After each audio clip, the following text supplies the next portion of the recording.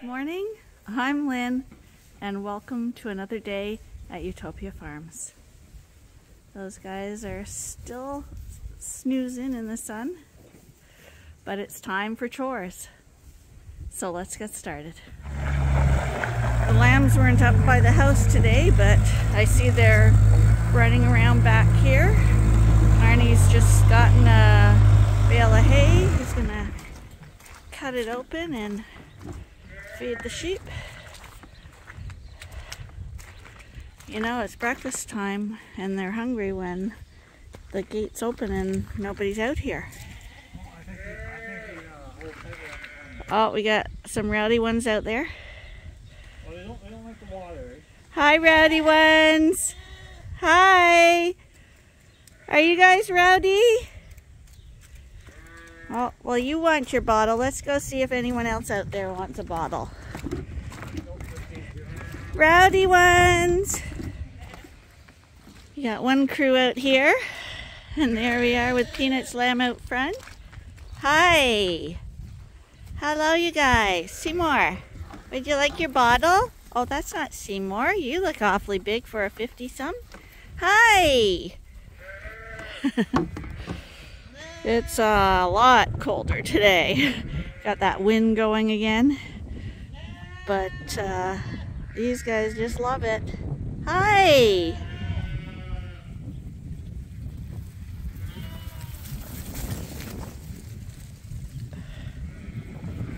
Oh, been doing the little fighting thing. You guys, you're far too young to be battling.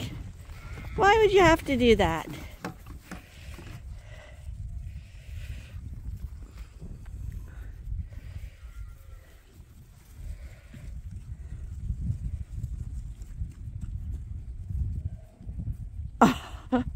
There's one here that's covered in mud. Oh, and it's peanut. Oh no, it's um cupcake. She must have had a wipeout in the dirt. Cupcake, you're filthy. She looks good on this side, but on the other side, there she is back there. But when she turns around, you'll see she's covered in mud. Did you did you have a wipeout?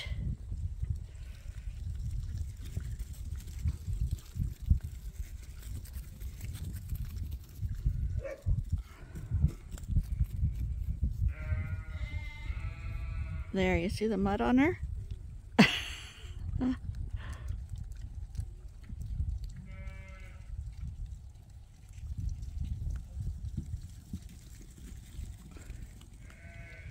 Here comes Seymour for his bottle.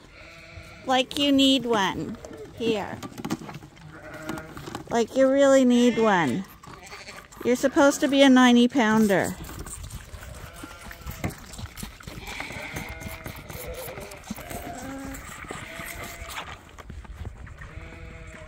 You are a silly boy.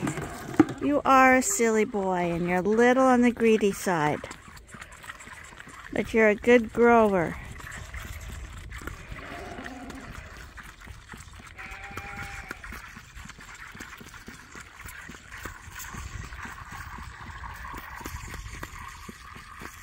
He only gets 300 mils a day of milk.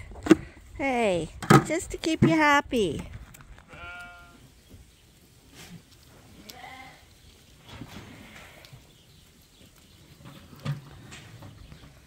Today is errand day for us. We have to go to the bank. We have to go to the grocery store.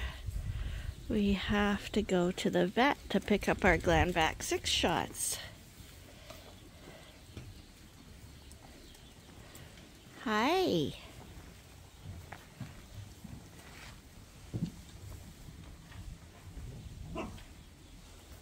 You are a nice lamb.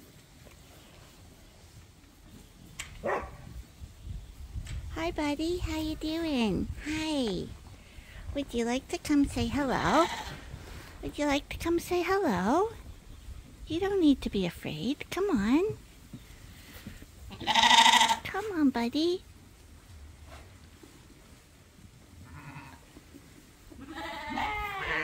Hi. you're looking mighty handsome.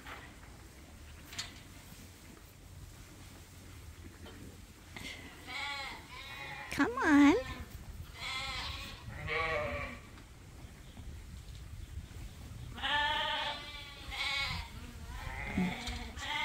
They're looking curious, but they're nervous. Oh, you're gonna walk by me. See, one goes, they all go. Yeah, you gotta walk by me with the others. It's a scary prospect.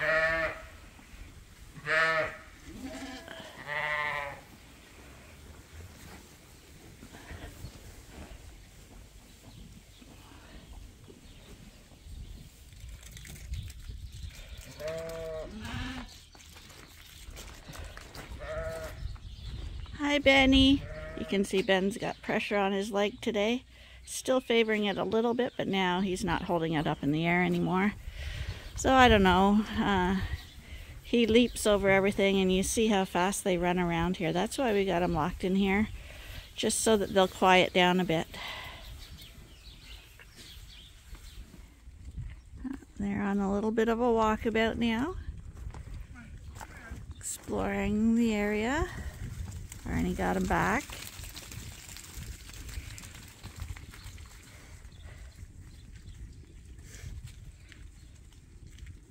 That you don't want to eat that hay. That's the hay we're throwing away. Don't let them nibble at that. This hay got mold on it, so we don't want to feed this to the sheep. So we're gonna put this in the manure pile.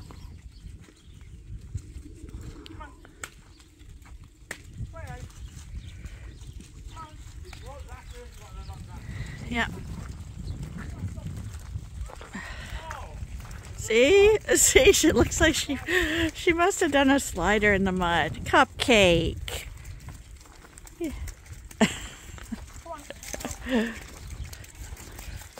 You're muddy this morning, isn't it? Ben, slow down. We're just gonna stick them in and we're gonna go feed the rams out front some hay before we head out and do our chores. First timers, eh? And we're gonna pull the ram out. But Yeah. they say uh, first timers don't always breed right away. He's definitely interested in Yep. She's acting like a whore. No, she's not. She's acting like she doesn't know what he's doing.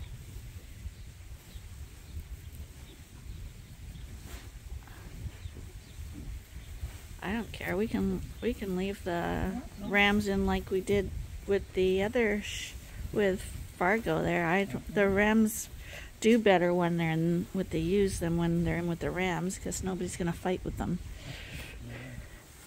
I, I'm, not, I'm not saying that. You get late lambs, eh?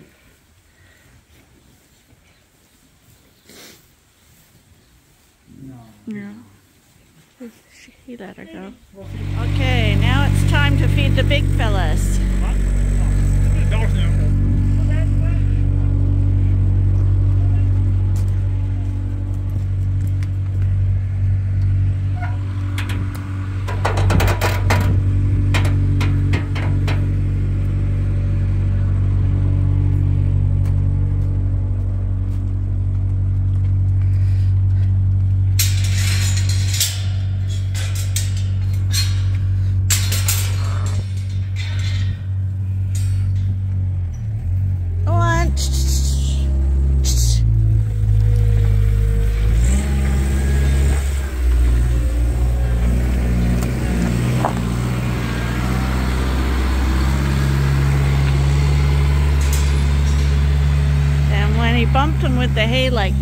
He does it's it's very gentle. The hay bale is soft, but uh, these guys were heading out the gate there.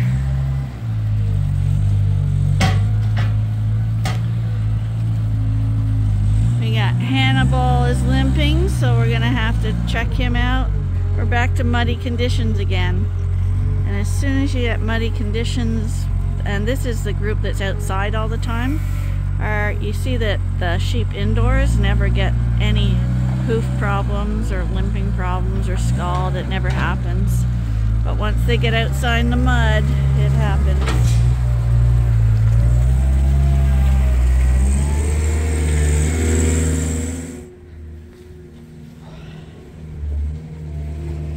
So, you think that the indoor sheep are more maintenance, but at our farm we find that the outdoor sheep are way more maintenance.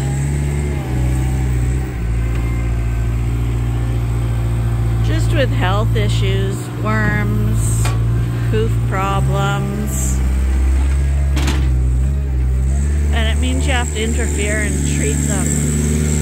Whereas basically, our sheep in the other barns are hands off. Here comes Scotty. Hi, Scotty. I already fed ya. Yeah, I did. I already fed ya. So we're back from the town and we're into night chores. And Arnie's got some little treats that have been exciting him all day.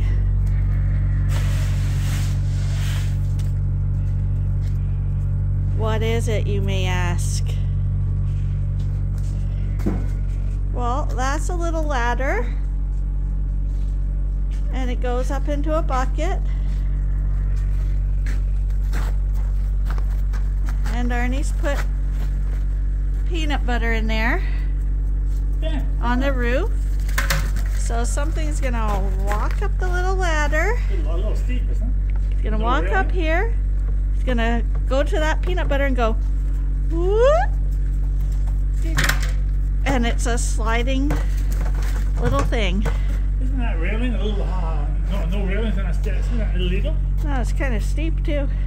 It's just a steep- Anyways, it's uh, this is what we're gonna try to do to catch the rats. We're gonna see how they work.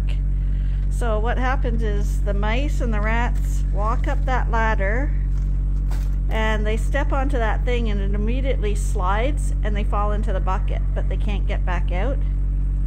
And we're not gonna kill them.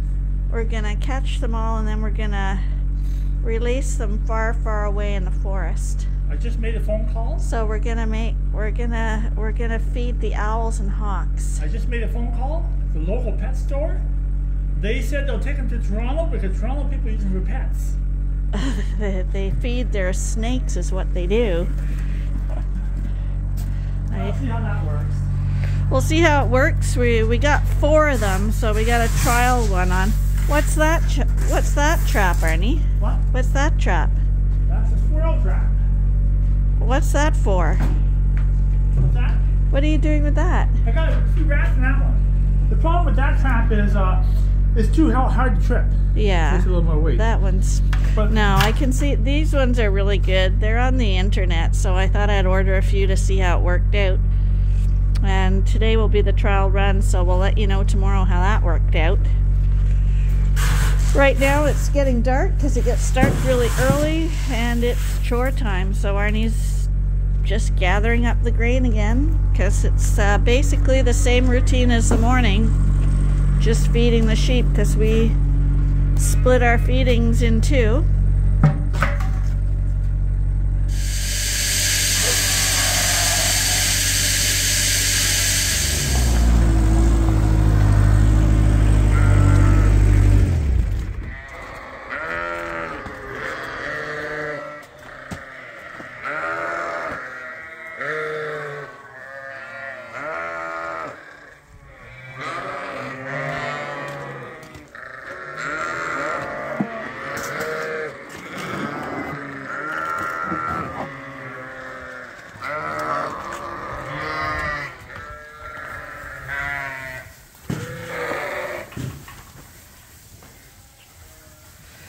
We don't feed bottles at night anymore.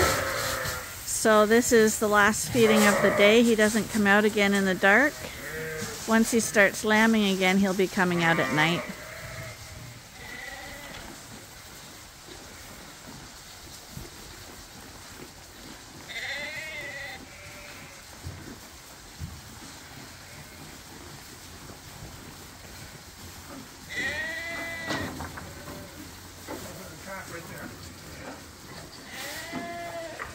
Got another trap in this barn.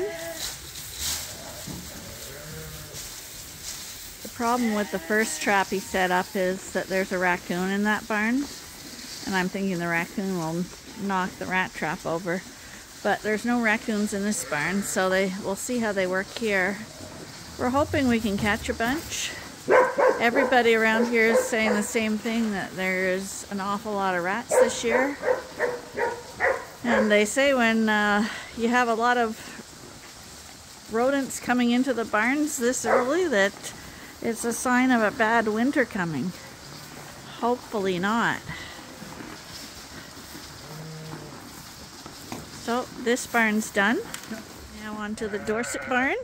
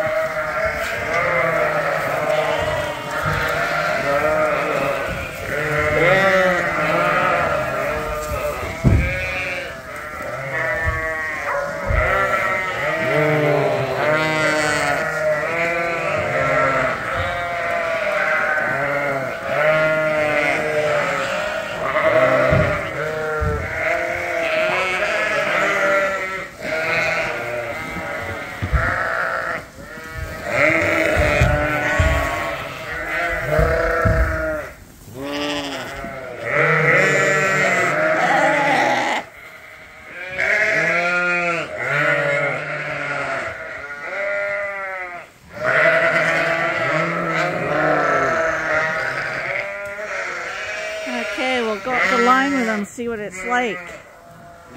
Doing the walk of fame here.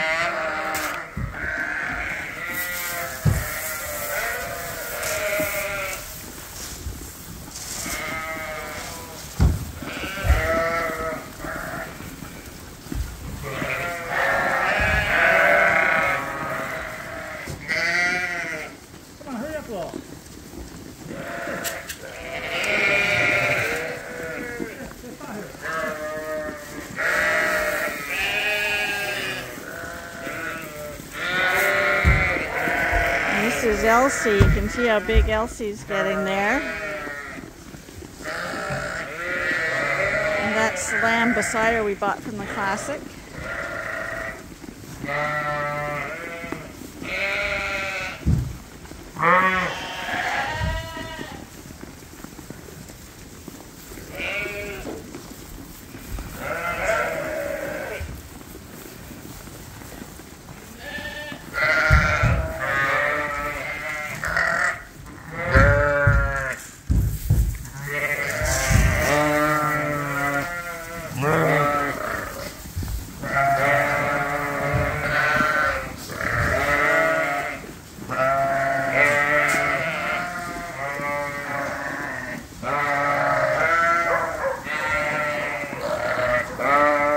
These guys are down to half the grain, or less.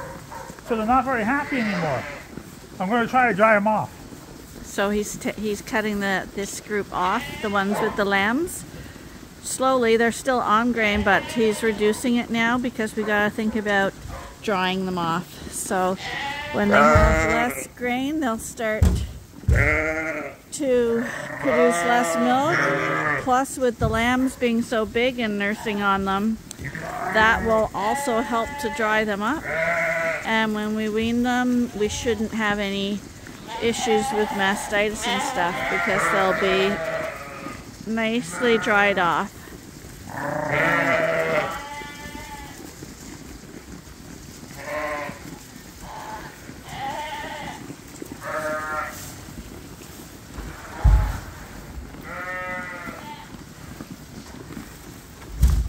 Hi, can you fit in?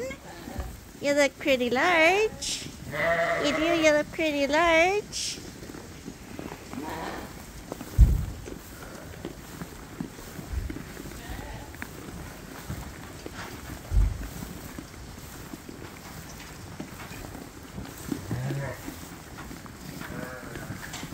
And now that the moms are fed, the lambs will get all their nighttime creep feed. Tomorrow they'll get a little more hay put in their feeders.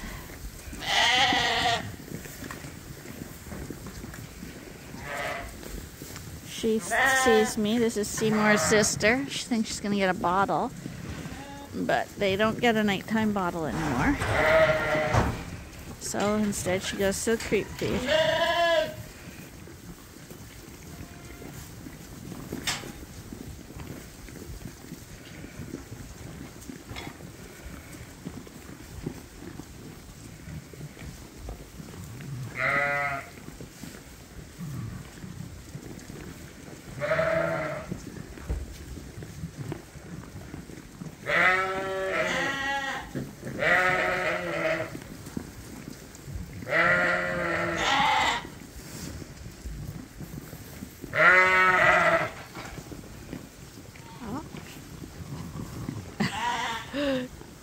Now that isn't that a tease? She calls in the lamb. She runs all the way to see her. And what she get for it? Nothing. Just nothing. Back to the creep feeder. She just wanted to make sure that her lamb was safe and was still here.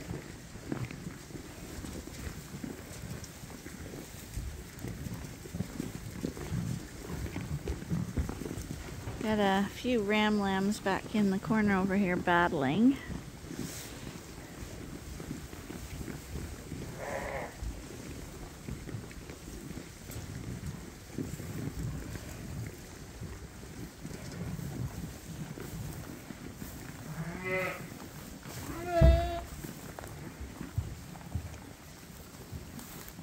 Hi.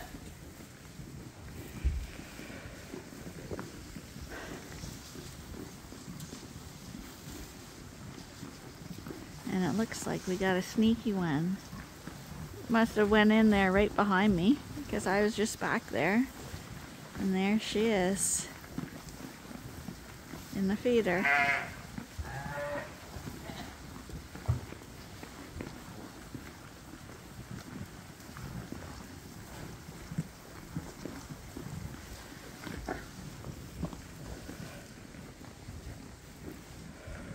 It's out. Dark so early now. But like I say, we leave that row of Christmas lights on. Once it gets really dark, that just gives them enough light to see. You can see the other barn lit up still. And then we have these motion lights. You saw that just come on. That's for coyotes and for us. So if we're walking around here at night, they'll turn on so we don't trip over ourselves in the yard. But it's also for coyotes and they're on they just come on quickly and they don't stay on for very long. But the lights flashing on and off like that, it freaks the coyotes out and they'll run off if the light autom automatically turns on like that because they'll think that there's a person around. So they're a good deterrent for if you have coyotes just have them set up around the yard. We have we have about four or five of them ar randomly around the yard. This is back at the Suffolk barn in Arnie's. We had a little bit of hay left over, so we just kicked the rest of it out just so that they could have a little extra hay for the night. And then the light goes off. Darkness, except for the little string of Christmas. Finally, we have the boys here. They have to go in for the night because they've been in. And we just got to close the door so all the ewes are in. But as you can see, it looks like they're pretty well all in here anyway. But we'll just do a double check out the back door. But they don't want to be out at this time of day, night because this is when the coyotes are most active. It's the dawn to dusk area time of days. But we'll put these boys in.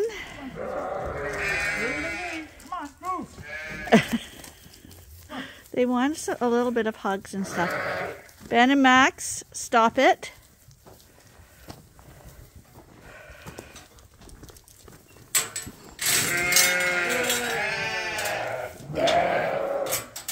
So this is Lynn from Ewetopia Farms, and we're going to call this a day.